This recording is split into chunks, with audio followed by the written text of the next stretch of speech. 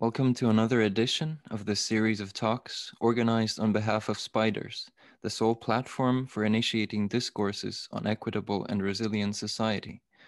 The talks complement a series of original papers published on the Spiders platform dedicated to outlining the building blocks of post-capitalist political economies and societies, not oriented around growth and profit, but rather good lives and a flourishing web of life in times of profound planetary change.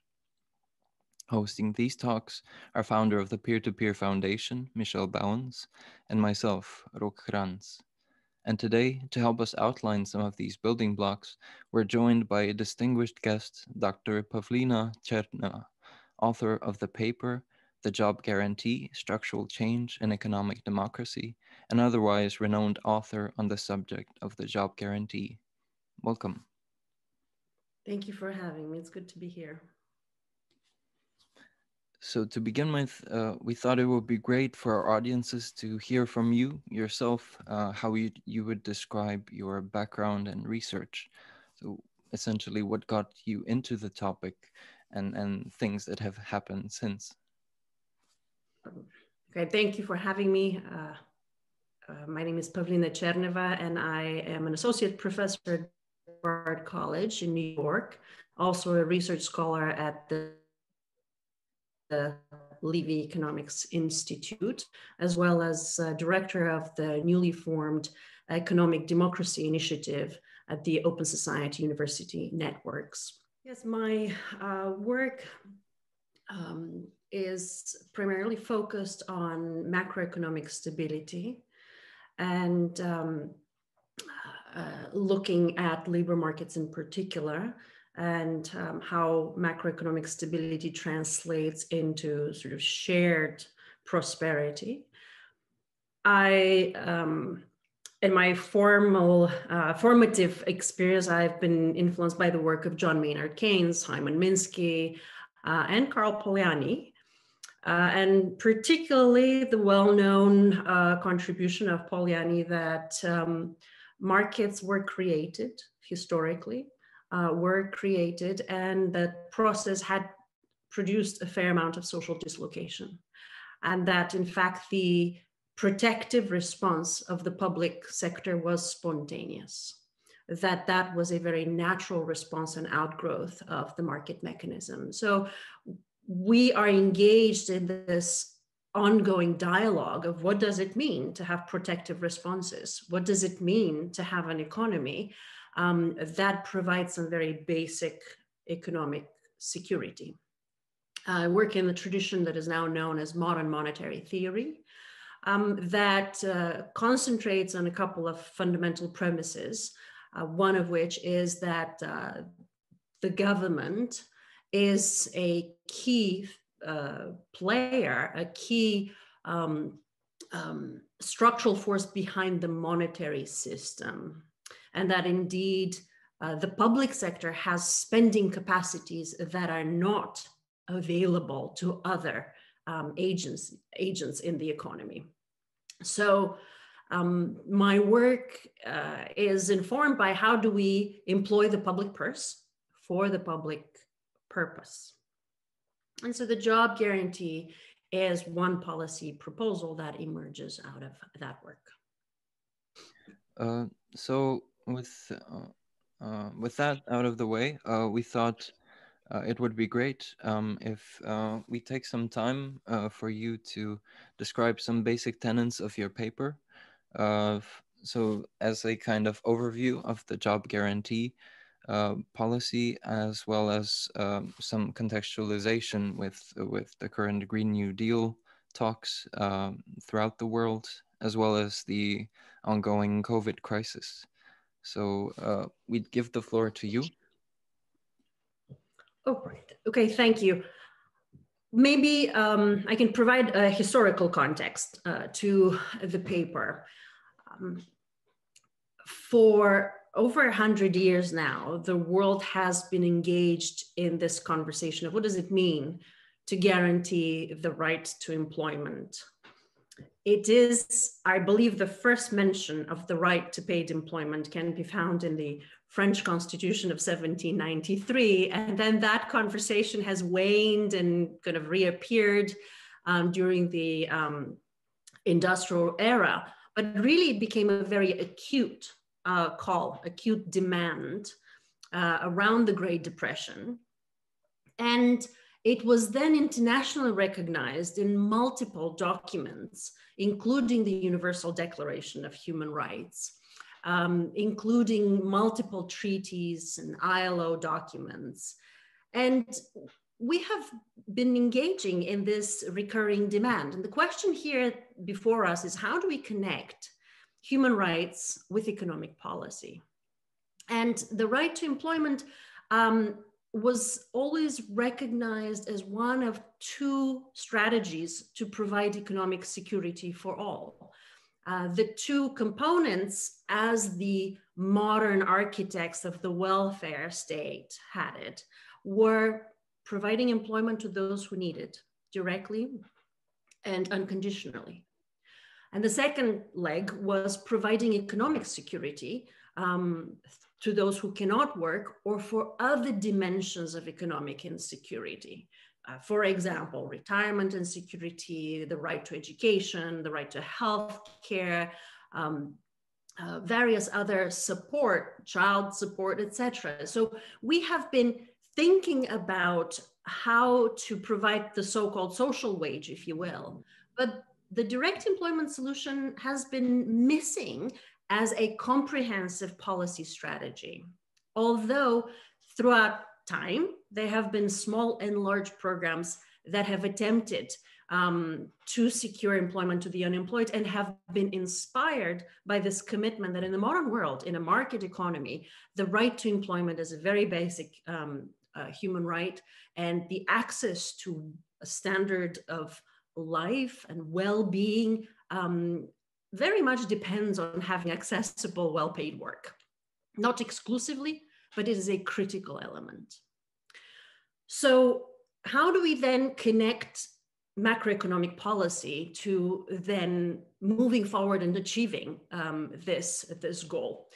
And in my paper, I argue that there are some obstacles we need to overcome with respect to economic thinking, conventional economic thinking.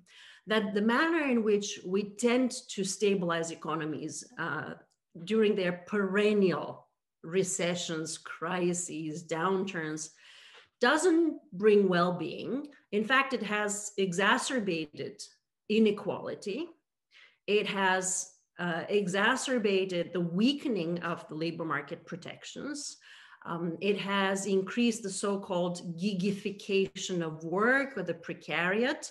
And growth no longer delivers enough jobs and well paid jobs. And in fact, we can go even a step further. Growth in the private mechanisms simply don't produce adequate and enough employment opportunities, even in the best of times. We don't need recessions to recognize that unemployment is with us, even in the best of times. So, why is that the case? And I think that it's fair to say that economic theory simply ignores the problem or does not um, or considers it to be um, natural, the problem of unemployment, natural, perennial, and in some aspects even necessary. So part of the um, paper reviews what is the conventional approach to the natural rate of unemployment. People who are familiar with, uh, with uh, US history, for example, know that the Employment Act of 1945 had the right to paid work um, as explicit language in that act, where the government was charged with providing unemployed employment to those who cannot find it in the private sector. But uh, the, uh, the Act of 1946 eliminated that language, the right to work, and then put the burden on private industry through government stimulus to produce growth and then generate maximum employment and price stability. So for you know, for the first time in, in the policy language, now we have a dual objective full employment and price stability, uh, maximum rather, not full, maximum employment and price stability. And then maximum employment um, is then being redefined as some positive level of unemployment.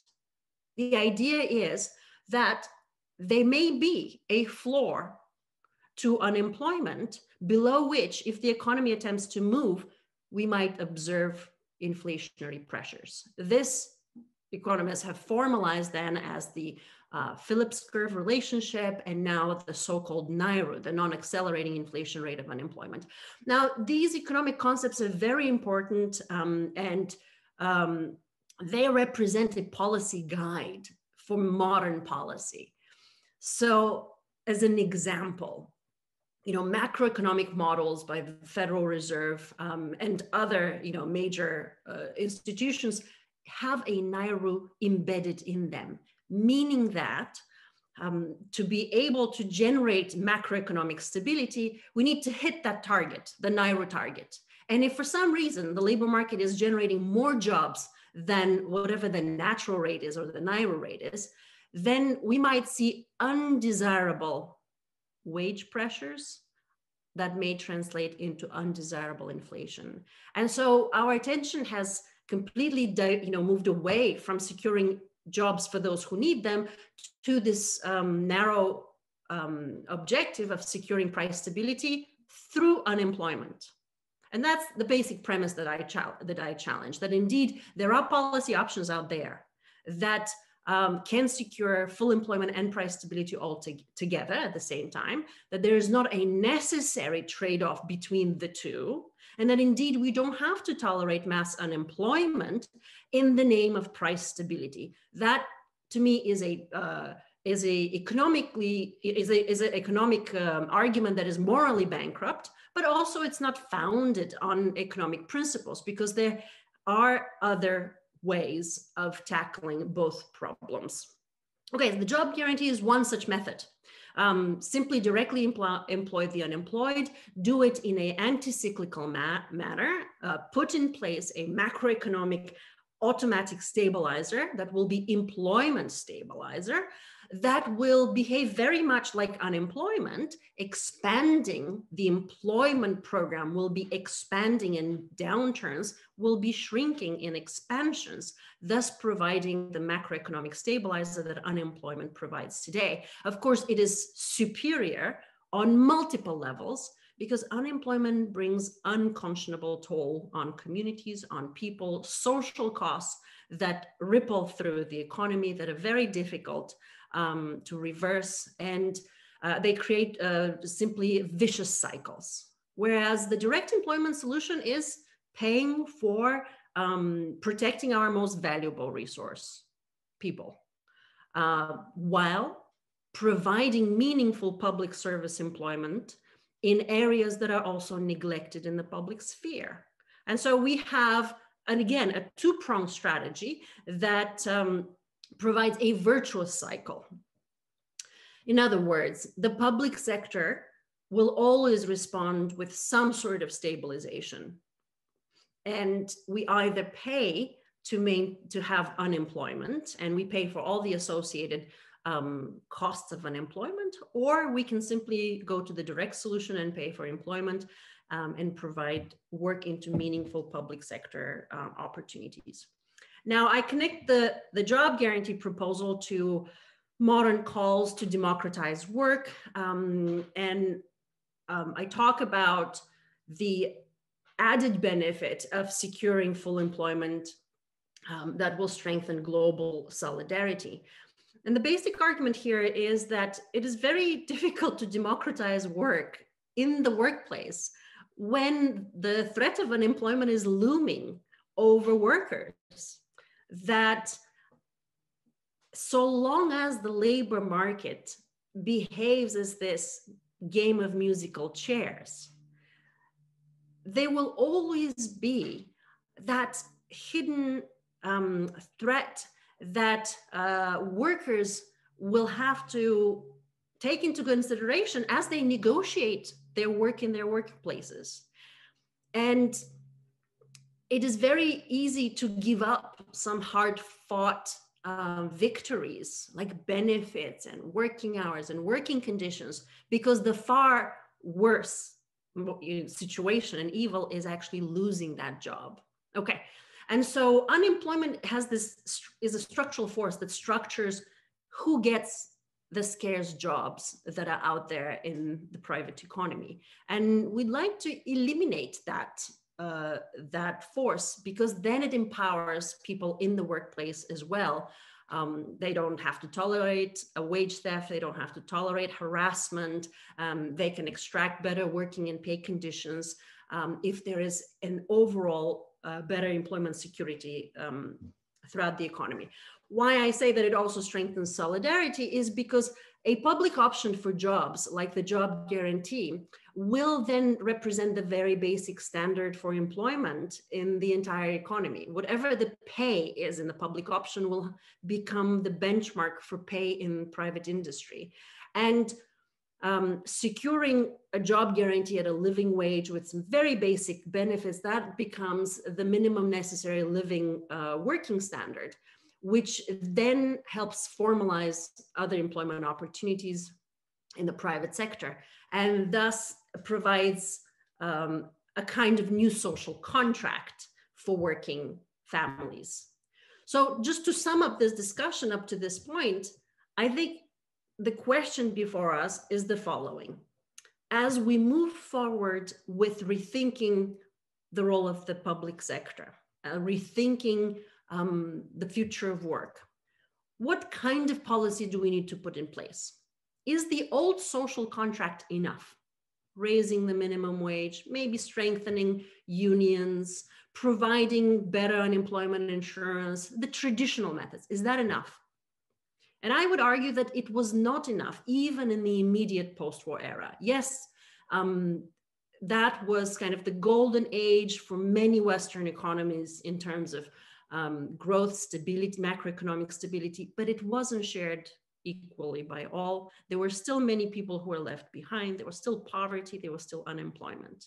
And so as we move forward, of course, we want to strengthen these components of the welfare safety net, but we need to also put in the second missing, missing leg of that strategy, and that is the direct employment strategy.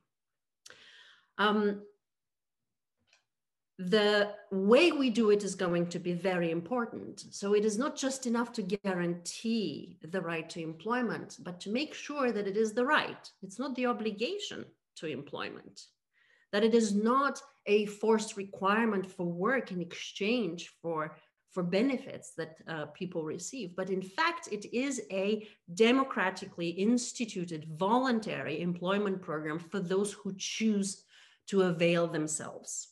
Um, and so um, a democratically run job guarantee is the way to go forward um, by getting in particip- you know, input from the community, enhancing participatory democracy. And there are many examples like this around the world of programs that are organized around the goal of guaranteeing uh, the right to employment, but also with the input of the unemployed themselves, with the input of the communities where the public service jobs are created. And so I discussed some such um, examples. Um, for example, the Rural Employment Guarantee Act in India, as well as smaller programs in the Western world, such as the long term unemployment zones in, in France. There are many other uh, projects and programs that you could argue are forerunners um, to the job guarantee. I, before maybe I discuss some of those um, experiences, I just want to articulate that in the current conversation, the right to employment once again has been singled out as a critical component of, of several um, important uh, initiatives and uh, statements, international statements. The first one is um, the recent call to democratize work um, that was uh, that reverberated across the globe earlier in 2020 um, and was published in 46 uh, newspapers in 26 languages around the world that called for three things.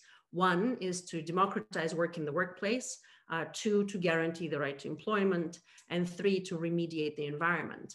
And the second important uh, international conversation that has embraced the job guarantee is that of uh, addressing the climate crisis. Um, the Green New Deal resolution in the United States has made it a, a key, a, a, key component. And it also recognizes the Paris Accord statement that, in fact, a tr just transition rests on securing a just transition for workers um, into uh, the green economy. And so the job guarantee from the early days of the Roosevelt era has always been green, always had very strong conservation component. The kinds of projects that were done um, uh, that dealt with, uh, with environmental conservation uh, were incredibly successful and popular. But today, jobs programs continue to embrace that model again because the environment is neglected the private sector is unable to address rapidly um, and in adequate, at, at, an adequate scale the climate uh, challenges before us and we need the public sector to lead putting the unemployed to work uh, in remediation is one effective way of tackling these the dual challenge of securing the right to employment and uh, uh, tackling the climate challenges before us. Excellent. Thank you so much, Pavlina, for this overview. Uh, so at this point, we would uh, jump over to some questions and uh, answers or a kind of discussion more format. Uh, I don't know if Michel, you had a question you wanted to start with, or shall I? I have one question which uh, I'm sure you heard before, but uh, it's kind of important for me because I belong to the same category. Uh, so, you know, when you talk about the gig economy, there's a lot of false uh, gig work, but it is also a growing sector of people that just work like that. So, uh, I'm part of a labor mutual called Smart, which is um, about 30,000 members in Europe, smart.coop. And 80% of our members are, you know, this is something that they've chosen to do. So they're artists, software developers, all kinds of people, and they really work on a project basis. Um, and so we call ourselves autonomous workers because at the same time we you know we work in the market but we kind of chose choose our clients. That's kind of a freedom that we appreciate that we have you know our kind of um, strategic ways of thinking about about our work.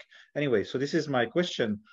So for people like this the notion of a guaranteed job doesn't really hold much appeal because they're not looking for a job and of course, that's not a critique of what you're proposing, which is very relevant for the large majority of workers that that need and want this. I was just wondering if you had also thought about this other group of workers and what kind of what kind of extra measures would work for you know this kind of freelance uh, sector that is not necessarily looking for permanent employment, but it has kind of this ongoing engagements in a you know in a portfolio of work. Okay um, yeah thank you. The job guarantee is a vo voluntary a program that uh, you may or may not take. And with respect to the the gig economy i think that the relationship there is that we can finally sort out which of these relationships are actually genuinely voluntary, like the one that you are mentioning, versus those that are um, coerced under the absence of other alternative. And so when we talk about, for example, you know, Uber drivers, uh, folks that might not be able to secure other more stable work, it looks like that's a voluntary choice, but it is done under duress. And so what the job guarantee attempts to do is just change the macroeconomic picture and conditions. It certainly is not saying everybody has to be in a stable, full-time, permanent contract, uh, you know, formal employment relationship. Um, but what it would do is create an environment um, that is not subject to these fluctuations, economic fluctuations, especially employment fluctuations, that then undermine the contracts of the freelancers, the other profit opportunities for small mom and pop shops, um, and just overall employment opportunities. So um, we have seen that you know countries that have taken the the goal of securing tight full employment and very low unemployment rate seriously see stable labor markets um, I would point to the example of Japan in the post-war era, the corporatist model in the Nordic countries. We just don't see these amplitudes of unemployment that, you know, yo-yo effect, you know, shooting up in recessions and slowly recovering in expansions. And so the macroeconomic environment changes. Um, we have modeled the job guarantee with colleagues at the Levy Economics Institute, and we find that private sector employment is permanently increased as a consequence of implement, uh, implementing a job guarantee, which would mean you know better employment opportunities for others, and um, you know uh, uh, the the job guarantee also provides uh, uh, options because you know you might not be able to work eight hours in the job guarantee if you are looking for work. You might be a caregiver and maybe you do want paid work but four hours in the community might be enough and so I think that that's really the conversation where we want to, uh, you know, engage in. You know, what kind of work do we want? Uh, do we want everybody to be toiling away um, because they cannot secure, you know, a basic living income, or can we provide various options in which people can be successful? Hmm. Um, Rok, I have another question. Maybe I'll finish that one and then you can take over for me in the questions. Um, again, this is a, I'm sure you have heard it many times, uh, which is the big discussion between basic income and job guarantee. Um, and some of the people would argue that the kind of basic income is a kind of post-work solution. So, you know, for people who want to do transitioning, um, become neo-rurals, you know, engage in organic food or so a lot of sectors that the market is not taking care of and who think they would benefit if they would have a stable income that would not be linked to work because they they actually already know what they want to do. And so they these kind of people tend to be in favor of a basic income and then would would argue that the job guarantee is kind of like you know keeping people within the traditional employment uh, system which doesn't do those things yet. And so holding back a transition that could go a lot faster if there were a basic income. I just want to to see how you how you reason about this. Yeah, I mean, there's the very practical aspect of, and then there's the philosophical aspect. Um, the practical aspect is the following: a lot of people want work, and even the basic income experiments show that people want paid work and they have trouble finding it. So that's number one. And number two is that we actually have a lot of work that needs to be done. It's like we haven't, the, the planet is not a complete proposition. We haven't finished the job of, you know, taking care of the environment, of maintaining our environment, nurturing, being good stewards. There's just countless of neglected social needs. And I think that that is really, you know, connects to the philosophical question of the human condition you know, does it, you know, will providing income um, to people simply give them the good life? And I would say that no, it will not, because the market simply doesn't provide the good life already to people who have income, right? Uh, you know, I use often the example of how expensive childcare might be or housing, and I have income and others have income, and still um, there is um, the access to public services. Um, as we notice, around the world um, has been, you know, is inadequate, simply inadequate, you know, and, and uh, in many areas, we talk about food deserts in the United States, rich country that has countless of communities that don't have access to good, decent quality food. We talk about health deserts, not just in the US, we talk about health deserts in, in Western developed countries as well. Of course, these problems are much more acute in the global South right? And so there is so much work to do to rebalance the scales, you know, to borrow from John Kenneth Galbraith, the social balance theory, that uh, you know the public sector needs to um, um, you know to be supported um, and you know to have the right kinds of investment. So what will what will basic income do for that? I think very very little without the structural investments that need to be undertaken and those take work and those take somebody will have to do the work. So the philosophical question then is why should some folks be exempt from that work while others have to do the work?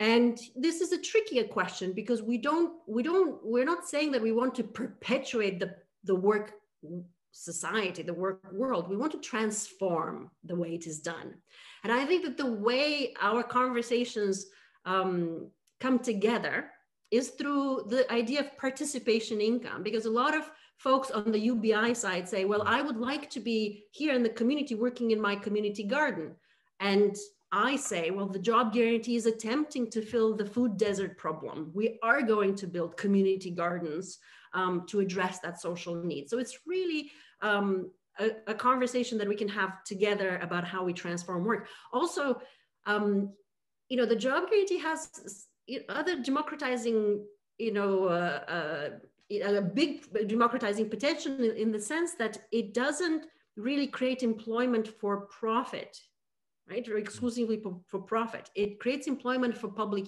need, for public ser service, um, for social goals. And then the terms on which you become employed change, right? You're not no longer under threat because you haven't fulfilled a particular quota. Now, the way we value your input to work is based on these other social considerations. And I think that is also, um, you know, democratizing um, in terms of how people self-organize, the kind of work that they do. Um, as I said in, uh, in my introduction, it's very interesting to see how people organize these programs from the ground up how they participate in the process of evaluating their communities and what their communities need, and then create the projects in which they themselves can participate.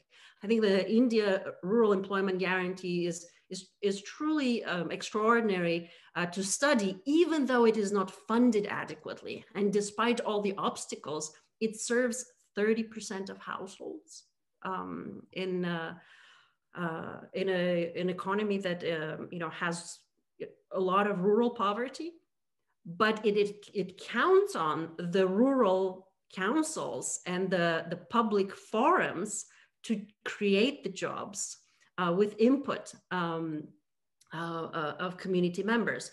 And the program has become the leading program um, for water conservation efforts in the nation, as well as uh, emission reduction.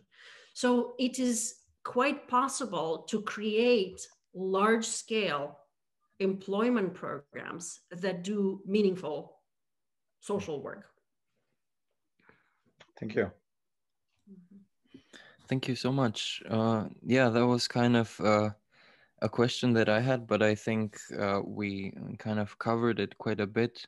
Um, in other words, um, it would have been like yeah giving people the ability to co-define uh, work or redefine work also including say reproductive labor and, and what's currently regarded as volunteer work etc regenerative activities and so forth and i really liked uh, your emphasis on this participatory bottom-up approach also in connection to to yeah innovating new social and ecological services uh, both in local communities and and translocal or, or networked in, into larger structures. Um, so and just maybe to just to emphasize that it's not the exclusive solution it's part of the two leg strategy right it's, yeah. it's the job solution but of course there will be an income solution because we know uh, many people cannot work, should not work. You know, students need to go to school and have affordable education. Caregivers uh, are already doing work that is unpaid. Um, they need to be supported. And so there are, there are ways in which these programs can coexist very successfully uh, together. Mm. Otherwise, I have maybe a more political question. Um, since we have a new government uh, in the US, Um, are there any indications that that like progress might be on the horizon? That that this idea is actually making progress and getting more legitimacy and and maybe even some concrete plans. Uh, you know, eventually an example an example from outside the US is fine too, but kind of uh, if you can give us a sense of you know what's the state of play around these these proposals? Yes the job guarantee um, entered the political discourse i think in the mainstream political discourse maybe two or three years ago. 2018 there was a lot of interest in, in the media and a number of presidential candidates at the time had endorsed the idea you know so so you are hearing a lot about the job guarantee out there now interestingly there were some new polls that were done in the united states also in the uk and those were showing overwhelming bipartisan support you know upwards of 70% uh, nationally. I mean, that is that's quite significant. And also majority support even in deep red states, you know, conservative states, I would say. And also various uh, polls that have uh, polled conservative voters also show um, support for this program. So it is, it is um, popular. There are a number of uh, people who are working on job guarantee bills uh, right now in Congress. Some are already out there, some are in the works. So uh, we will see exactly where that goes with the current administration. While President Biden himself has not, to my knowledge, uttered the words job guarantee, um, he has his environmental agenda became bolder throughout the presidential uh, campaign. And he has just put out a framework for that environmental agenda, which has a Civilian Climate Corps. That is to deal with environmental renewal and um, uh, restore public lands and deal with some of the um, some of the environmental impact there. I think the question here is this is a, a wonderful opening and really uh, a way to go forward with a bold jobs program a la New Deal. The question is what will be the scale and how will that be organized? I think that, you know, to me, there are, you know, three fundamental principles to go forward. I, I would like to see in law the legally enforced right that it is it is embedded again in the language in those document documents. Um, the second would be that this will be uh, publicly funded, uh, which likely it will be, but also that these are public jobs or public sector or non-profit jobs um, rather than attempt to work through the traditional channels of incentivizing only private sector um, uh, companies to do the work. Um, it's, you know, this is public service and we should have the institutional capacity once again to address those public needs.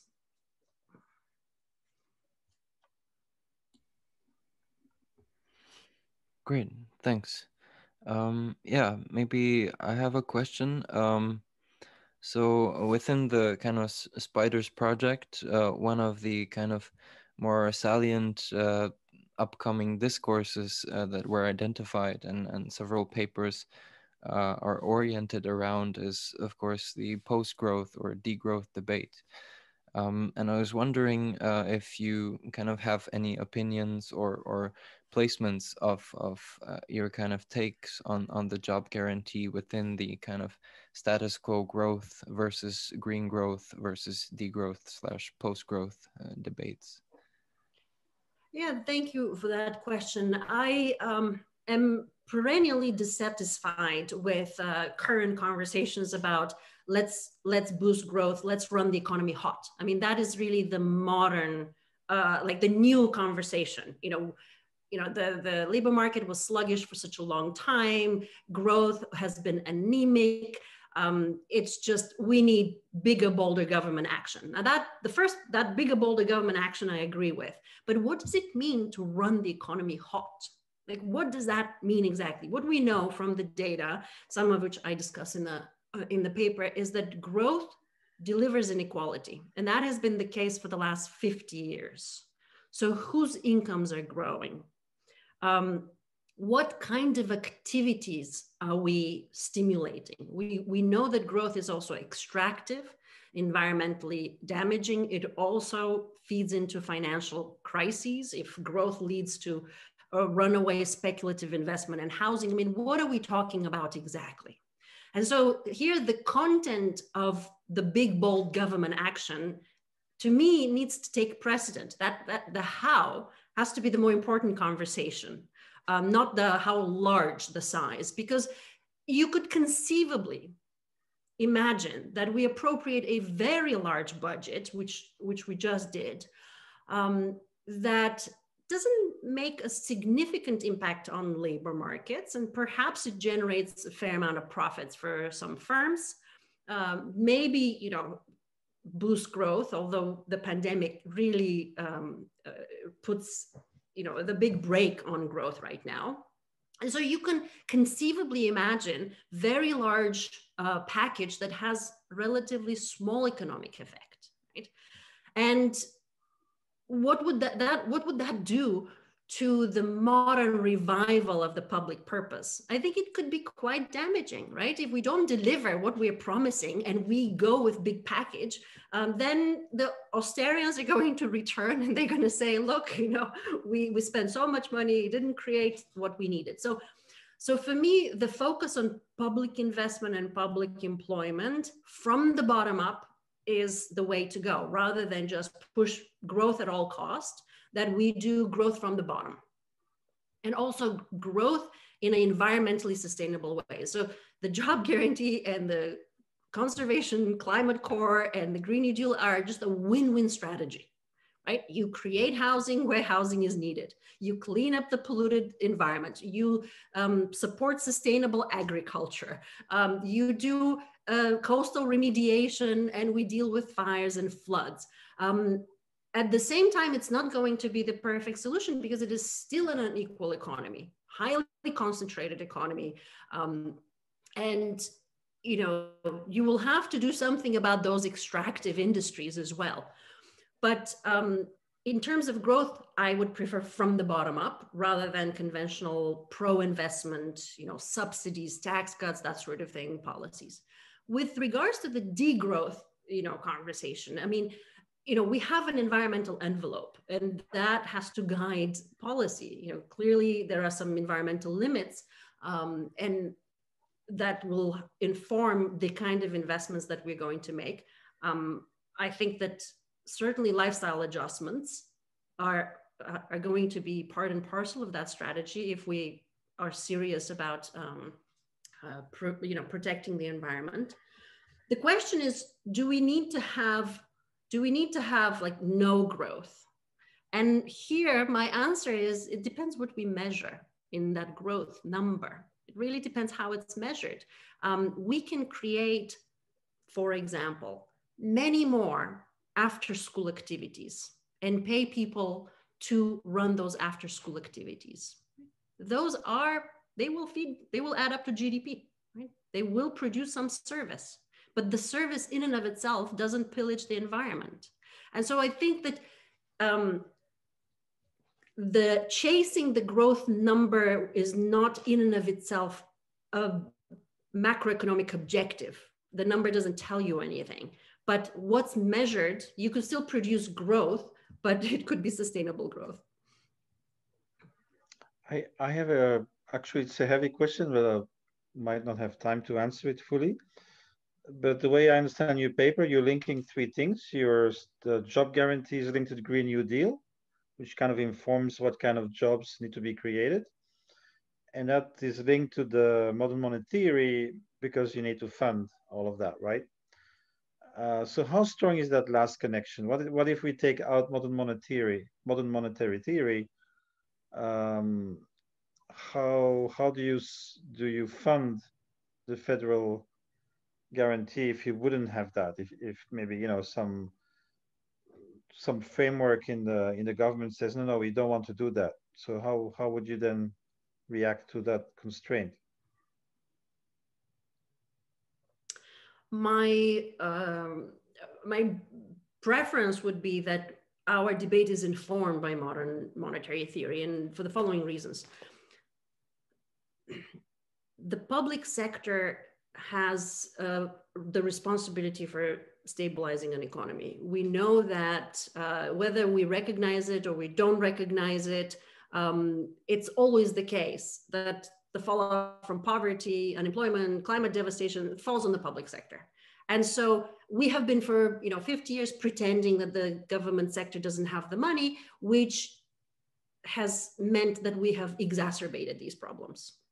Hmm. But it's still the case that the government pays for a sick person that shows up in the hospital, for a homeless person that is on the street, for a child that doesn't have employed parents and is hungry and goes to school. That is still happening. So one way to answer this question is that the, the costs are already there. They're unavoidable and unescapable. We, we are committing resources. Um, and we can just do things better by doing the job guarantee. So one does not need to acknowledge MMT to uh, recognize that we can simply pay for employment rather than neglect and poverty. Okay.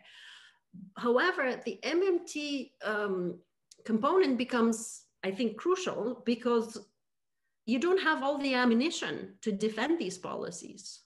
You know, you could see the pendulum swinging in, you know, 20 more years and somebody saying, okay, well, it's really, the government really doesn't have these resources. I mean, it's all well, and good to provide employment for people. It's very nice, but, you know, we just don't have the, the public funding capacity. We're robbing our future generations. That conversation needs to be put to rest once and for all. And the only way you do it is by understanding government finances. Now, it is true that some countries don't have the policy space that MMT highlights when we look at sovereign uh, monetary regimes. Some countries um, voluntarily impose limits on their spending and their budgets. Other countries completely abdicate their sovereignty, right? We have uh, dollarized countries, we have currency boards, we have the Eurozone. So unless we have uh, I think, an appreciation of what sovereign currency permits, we can be going down this path of these highly restrictive monetary regimes and just not play with all of the tools that we have at hand. So, you know, I think that I think it's very important to connect the two. But if you live in the eurozone and uh, it is socially important to move towards full employment, that goal should still be pursued, whether sovereignty is there or not. Right. Thank you. Thank you very much. Um, so we're kind of nearing a full hour, uh, but I think uh, it would be great um, to hear from you, Pavlina. Uh, like we heard a little bit about the kind of necessary key steps or, or leverages that you see, including legislative legislative change and so on. Uh, but for listeners, uh, maybe it would be great uh, to hear from you some perhaps uh, resource recommendations uh, to kind of um, yeah broaden or expand horizons on the subject and also perhaps some uh, very active advocacy groups or you know in short uh, how can one support uh, and further this discussion and, and contribute? Yes I'd, I'd like to highlight the work of um, a job guarantee advocacy group. Um, listeners can go to jobguaranteenow.org, which has a manifest, a manifesto, a, a, a, pledge to work towards a job guarantee that has been signed by many, not just academics, but uh, all uh, or civil um, groups, uh, civics groups, uh, unions, individuals, various other um, um, uh, organizations who have also made it part of their policy agenda. There are some local and regional groups who are organizing their work around a, a, job guarantee. So that would be one important resource page also for legislative efforts that are forthcoming. Now I will also direct people to democrat democratizingwork.org, uh, where the work um, has been taken at the international level and also intersects with other initiatives for participatory democracy and for democratizing um, the workplace um, more broadly uh, speaking. And um, of course, you know, the uh, national, the international organizations who are reviving that conversation. The UN recently had a conference on global leadership, but the ILO produced a report in 2019, um, as I mentioned, on the future of work that centered around or put the job guarantee as one of the core components of uh, rethinking um, the new social contract. So there are, I think, many ways in which one can get involved and I am cautiously optimistic that that conversation is is becoming um, international as well. And thank you for highlighting it as well. Thank you so much. Yeah, we'll be sure yeah, also to include those links uh, in like next to the. Yeah, it was, it was a great conversation, very lively, very well explained. I think it's one of the best ones so far. Um, yeah, it's very good. No, thank you very much for the yeah for the questions. Uh, I, I enjoyed it, and I look forward to seeing it